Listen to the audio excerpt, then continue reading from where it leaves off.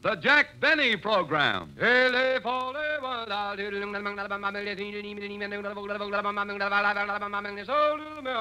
Lucky Strike means fine tobacco, so round, so firm, so fully packed, so free and easy on the draw.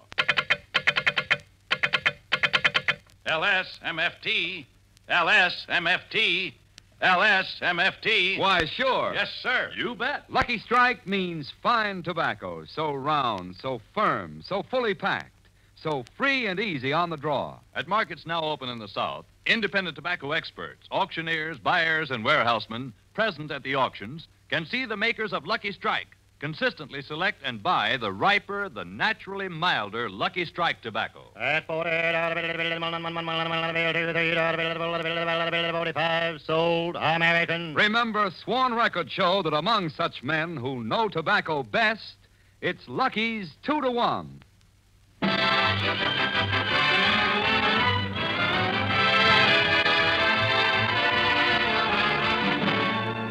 The Lucky Strike program, starring Jack Benny with Mary Livingstone, Phil Harris, Rochester, and yours truly, Don Wilson.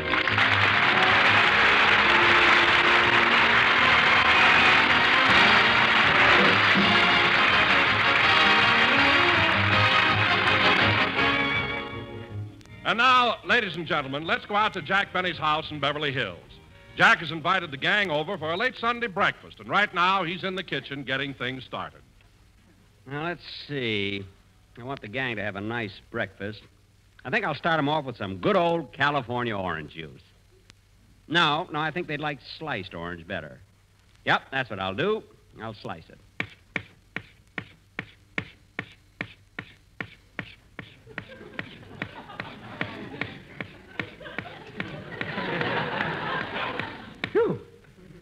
Well, there's no use stopping now. I might as well slice the other half.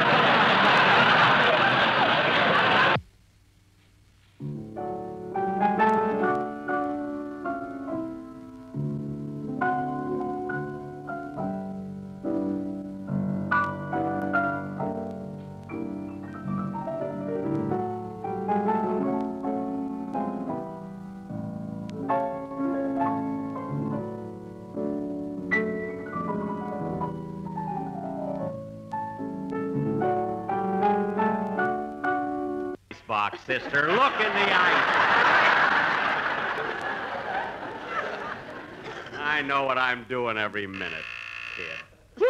That must be the rest of the gang. Come in. Hiya, Mary. Well, hello, Mary. Hello, fellas. Hey, Mary, who's your friend? Come here, babe. Phil! now cut that out. It's me. Wise guy. Jack, I told you to roll your pants legs down. I'm leaving them up. It's cooler this way. Come on, let's go in the kitchen and get things. Phil, stop twisting my knee. Oh, I'm sorry. I thought it was the doorknob. Another remark like that, and you won't get any breakfast. Say, Don, you haven't opened your mouth since you got here. Just put the food on the table and stand back. That I know, Don. And do us a favor, will you? Give the rest of us a 15 minute head start. Please. Don, the food isn't even ready yet. Get up out of that crouching position. Yeah. And Phil, get the bacon out of the icebox. Okay. You'll find it in the lower. Hey, kids, look at the stuff in this icebox. Three quarts of cream and four pounds of butter.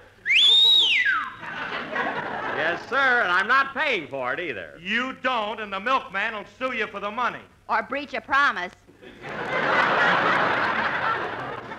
What? And them doorknobs ain't gonna help you with the jury.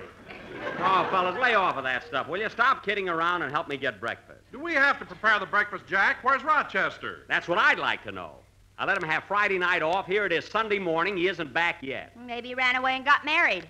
That's what I thought, but I looked in his hope chest and everything was there. Rochester has a hope chest? Well, it isn't exactly a hope chest. He won it from an undertaker and had no other use for it.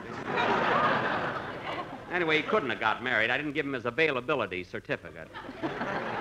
Come on, Mary, help me with the food. Look, if you fellas will get out of my way, I'll have breakfast ready in no time. Mary's right, fellas. Come on, let's go in the other room. Hey, Phil, not so fast. That easy chair's mine. So, Jack, while we're waiting, do you mind if I turn on the radio? No, no, Don. Go ahead. Never in automobile history have used cars brought such high prices. So if you have a car in your garage that's not working, sell that car to me. I will pay you $8,000 for it, sight unseen. Providing, after selling the car, you will let me live in the garage. The phone number is Granite 864. Get something else, Don, will you, please? Stop moving the dial so much. Okay. Here.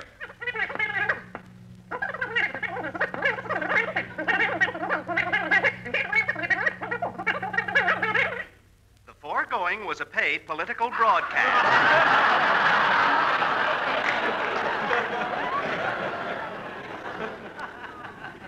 Oh, gosh, my set always does that when something interesting comes on. Get something else, Don. How do you do, ladies and gentlemen? Is your belt buckle tarnished? Do your suspenders give you that over 35 letdown? is there a deficiency in your diet? If there is, you need bulk in your hulk. So remember, to avoid these annoyances, use sympathy soothing syrup. Sympathy spelled backwards is yatapamus. Y-H-T-A-P-M-Y-S. Yip, yip, yip, tapamus, yip, yip, yip, tapamus, yip, yip, yip, tapamus, drive your blues away. You know, I gotta, I gotta try some of that stuff. Remember, folks, sympathy soothing syrup comes in the 10 cent size, the 25 cent family size, the 49 cent economy size, or for $1.98, we will pipe it right to your house.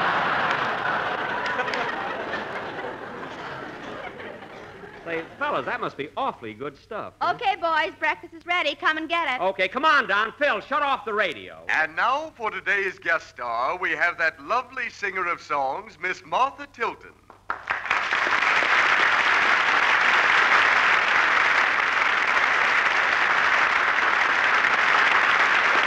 Hey. Hey, wait a minute. Don't shut it off, Phil. That's Martha Tilton. She was overseas with me in the South Pacific. Let's listen to her. Uh, Martha, before you sing, would you tell us a little something about your overseas trip? What a show we had. Well, as you know, I went over with Larry Adler, Carole Landis, June Bruner, and Jack Benny. Hmm. Had to put my name last. oh, well. Is there any particular incident you'd like to tell us about? Well, let's see. Oh, yes. One night, Jack and I and a native guide were making our way through a dark jungle in New Guinea. Oh, my goodness. Jack was carrying the flashlight, and the native guide and I were close behind. Suddenly, Jack snapped the light off. What are you laughing at, Martha? Jack still thinks he kissed me. Well, how do you like that? She must have ducked. And now, ladies and gentlemen, Martha Tilton will sing the trolley song. Imagine her telling a thing like that, huh? Come on, fellas, sit down and have breakfast. With her high starched collar and my high top shoes and my hair piled high up on my head. I went to lose the jolly hour on the trolley and lost my heart instead. With his light brown derby and his bright green tie, he was quite the handsomest of men. Started to yen, so I counted to ten, then I counted to ten again.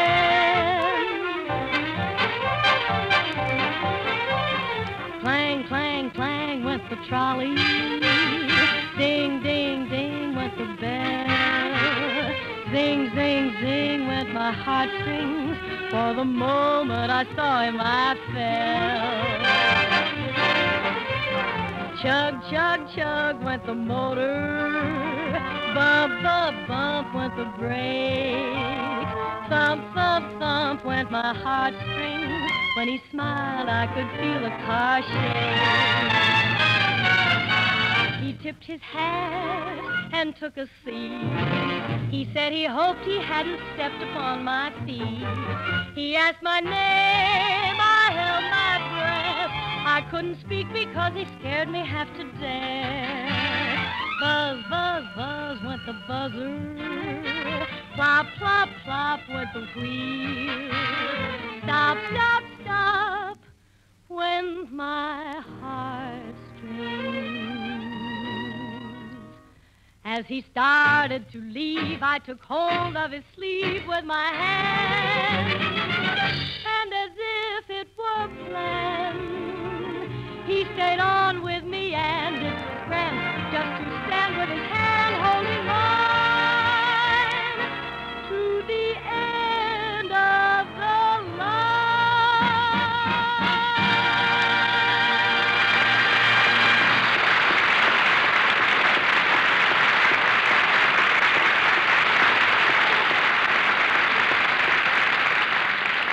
Hey, wasn't that swell? Yeah, Martha can really sing, can't she, Jack? You said it. The boys were nuts about her. Hey, that was a wonderful breakfast, Mary. I'll help you with the dishes. Let me help her, Jackson. We don't want you to get dishpan hands. Well, if Rochester was here, we wouldn't have to. Don, Don, stop dropping your ashes on the rug. But, Jack, these are cigarette ashes. I know they're cigarette ashes, and I don't want them on my rug. But, Jack, these are Lucky Strike cigarette ashes. I don't care if they're. Oh. Oh, I'm sorry. I'm sorry, Don. Go right ahead. You see, I got a little excited because this is a very unusual rug. It's, a, it's real Angora. Why don't you kill it so you don't have to take it out at night? Mary, that isn't funny. Say, fellas, I got to go over to NBC and set up the sound effects for the broadcast. See you there later. Okay, Jackson. So long, Jack. You have to go this early? Yeah, I just have a few minutes to catch the bus. Goodbye.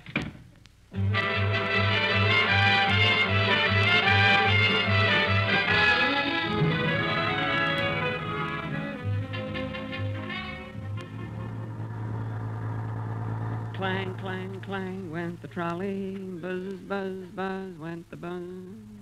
Gee, these buses are always so crowded. Oh, well, I don't mind standing. Hmm, things are sure happening fast these days. Look at these headlines. Japs driven back in Leyte. That's swell. Both candidates winding up their political campaigns. Gee, I mustn't forget to vote. Russians advancing in Germany. Ah, they're doing a great job. Hey, buddy, do you mind if I turn my own pages?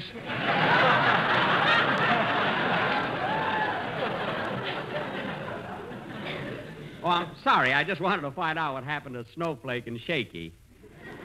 See, that Shaky is some guy, and before him there was the brow and prune face and flat top. Gosh, I'm tired. I wish I could sit down. Well, here, old man, take my seat. Thank you very. Why, Fred, Fred Allen.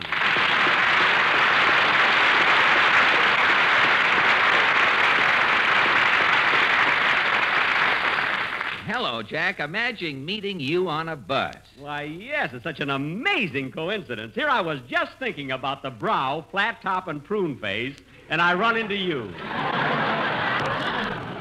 Well, that's what I like about you, Jack. You'll say anything for a laugh. And someday you may get one.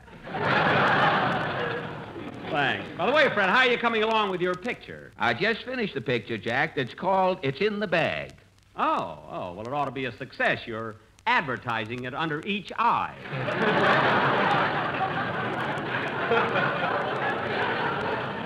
anyway, good luck on the picture. Well, thanks.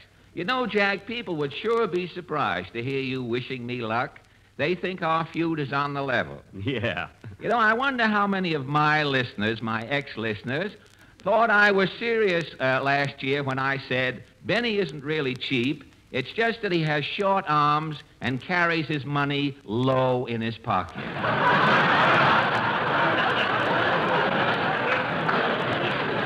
Yeah. you know, and I bet a lot of my listeners thought I meant it when I said the way Allen talks through his nose, he's the only comedian on radio who tells them and smells them at the same time. Yes, oh, that was a good one too. One of the few, as I and remember, remember the uh, remember the time on my program when I uh, when I was kidding about you having no blood. Yeah. What a laugh I got that time! I said. Every time Benny goes out in a polo shirt, he takes a pencil and makes lines on his arms so people will think he has veins. when Mary explained that to me, I nearly died. uh, remember the time that I said that Allen had so many wrinkles in his face, he looked like a convertible with the top halfway down? I was with Muntz the day that they, you. Uh, you know, when I uh, when I explained that to my Pontiac, I thought the exhaust pipe on the car had lips.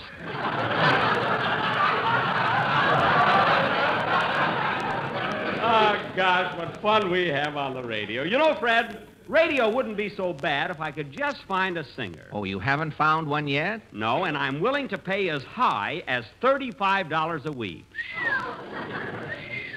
If I could, if I could get the, if I, if I could just get the kind of singer the public likes. Well, that's just it, Jack. You have to find out what the public wants. Now, you should take a poll, you know, like Dr. Gallup. Ask the man in the street. The man in the street? Well, certainly. Now, Jack, if you'll come with me, I know just the place we can get a cross section of public opinion. All right, let's go. Great.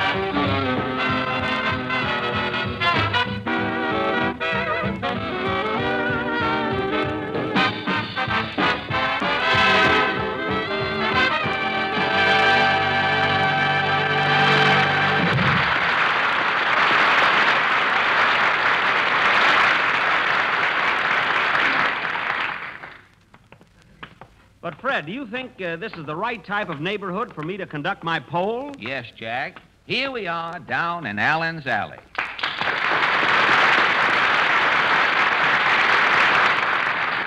Allen's Alley. You know, we have something like this around my neighborhood, only we call it the La Brea Tar Pits. I know it. I saw it the day I went over to see your uncle. I... Well, let's not lose any time. Let's not. He was playing pitch in the. Uh, let's not uh, lose any time, Jack. Here's the first house, the little vine covered, termite gnawed shack of John Doe. Yeah?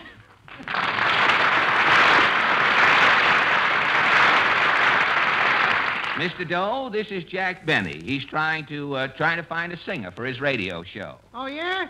Well, Mr. Benny, who's that jellyhead who's been singing on your show? He always sings the same song. That's what I like about the South.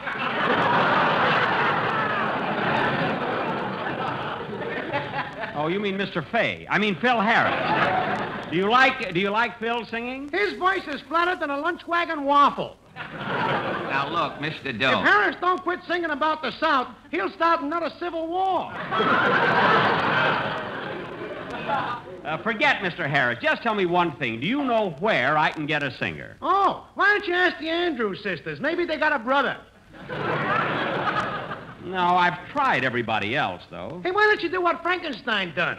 You mean make myself a singing monster? Yeah, you could take Singing Sam's mouth, Rudy Vallee's nose, Morton Downey's chest, and Nelson Eddy's body. Say, that sounds good. Yeah, you'd have 10% Valley, 15% Singing Sam, 20% Downey, and 49% Eddy. Why not 50% Eddy? Well, you don't want no half Nelson, do you, Bud? so long. This is a waste of time, Fred. He didn't help me any. Now keep your beret on, Jack. Let's try this next house. No.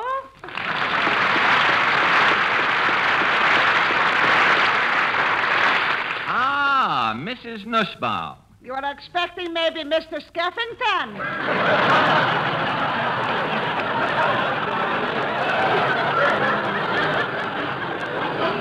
No, no. Uh... No, Mrs. Nussbaum. This is Jack Benny, the radio comedian. Yes, haven't you ever heard my program on Sunday night? Uh, no, on Sunday nights I'm listening to the other group. The other droop? Drew Pearson. Uh, Mrs. Nussbaum, Mr. Benny's looking for a singer for his radio program. Uh, who is your favorite singer, Mrs. Nussbaum? Only one singer I am enjoying, John Charles Shapiro. John Charles Shapiro. Yes, he's singing at Goldberg's Delicatessen by appointment only. And he's good, you say? Good. When John Charles Shapiro was singing, was you is or couldn't you possibly be my neighbor?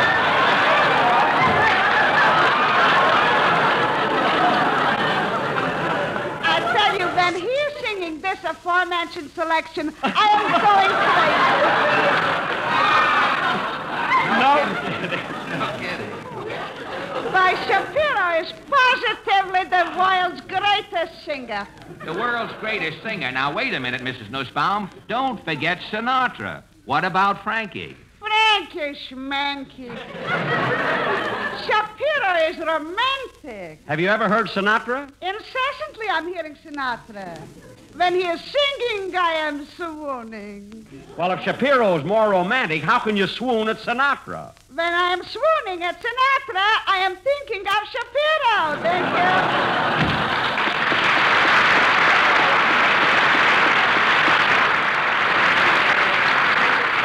That's all I need on my program. John Charles Shapiro by appointment only.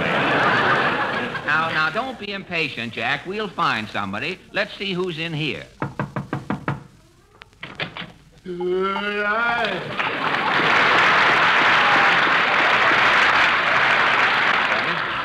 Mr. Benny, this is Socrates Mulligan. Pleased to meet you. Uh, pleased to meet you, Mr. Mulligan. Now, wait, wait a minute. He's Jack Benny, the radio comedian. You're Socrates Mulligan. I am? Well, certainly you are. What does it say on your birth certificate? Uh, Molly Mulligan. My mother wanted a girl. Look, Socrates, Mr. Benny is trying to find a singer for his radio program. Oh, a singer.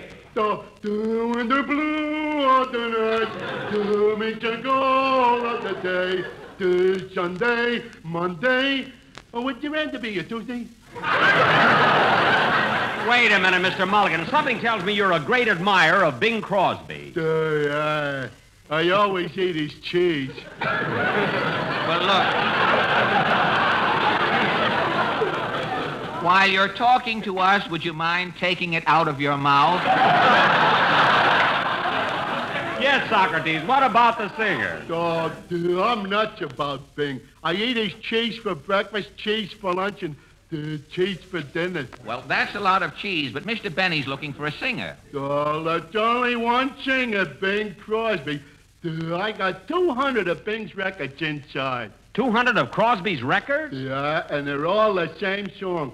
Mammy, little baby loves you something and the something. Mammy, little baby loves you something and the bread. Oh, mammy, little baby loves you Wait a minute, wait a minute. Look, what, what do you do with all that shortening bread? With cheese, it's delicious.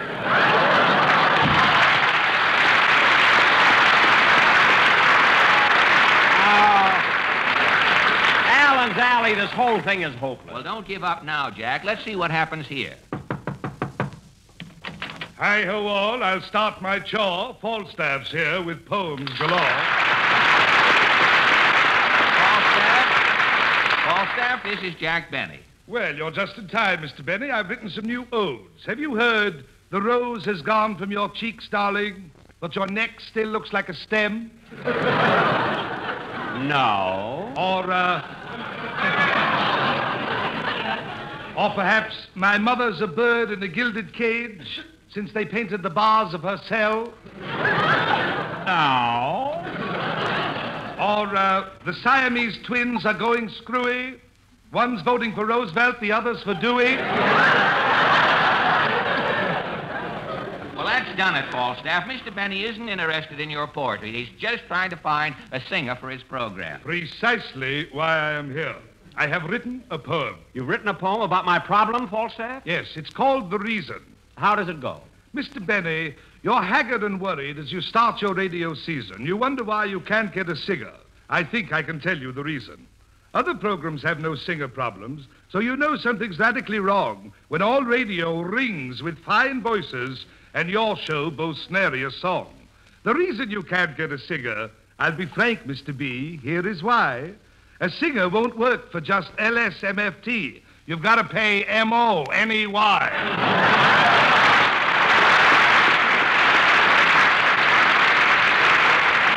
Well, it's no use, Fred. These people didn't help me at all. Well, I tried. I'm sorry, Falstaff. Thanks just the same. Well, you gentlemen must have had a long journey. Wouldst uh, join me in a cup of tea? Wouldst? Wouldst. Goodst.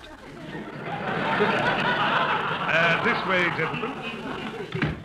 Oh, Jeeves, Jeeves, please serve some tea. Two for these gentlemen and one for me. Your order, sir, will be up in a minute. Do you want it straight or do you want something in it?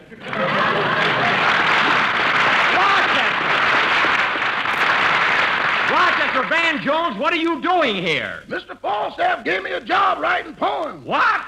Have you heard? Take that handkerchief out of my brother's mouth, officer. He can't go along with a gag. No, I haven't. Besides, I'm looking for a, I'm not looking for a poet. I'm looking for a singer. A singer? Well, well, why did you say so? I'll be seeing you in all the old familiar places when you pay me higher wages year through. Rochester! I'll find you in the morning. sun, Rochester! And when the night is Rochester! Now cut that out and come on home right now. Come on, Fred, let's go.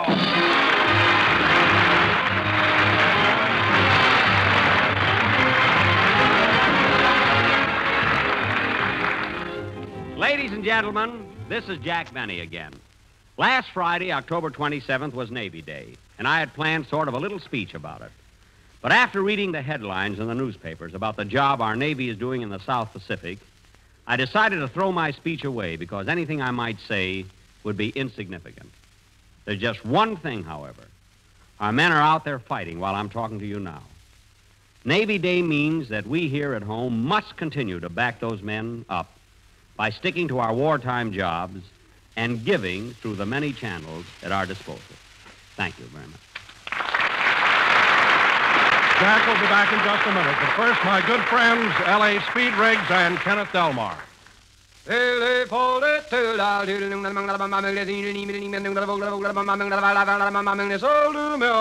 Lucky Strike means fine tobacco. Remember that, ladies and gentlemen. Lucky Strike means fine tobacco. The riper, the naturally milder Lucky Strike tobacco.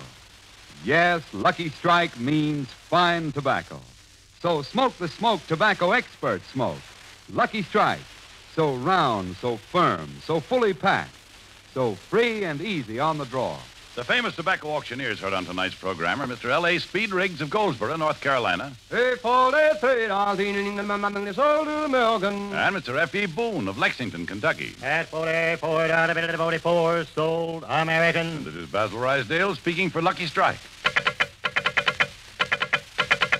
LSMFT, LSMFT, LSMFT. A friendly suggestion. For your own real deep down smoking enjoyment, smoke the smoke tobacco expert smoke. Lucky Strike.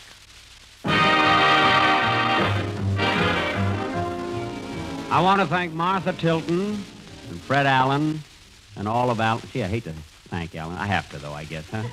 And all of Allen's Alley for being here on our show tonight. Good night, everybody. This is the National Broadcasting Company.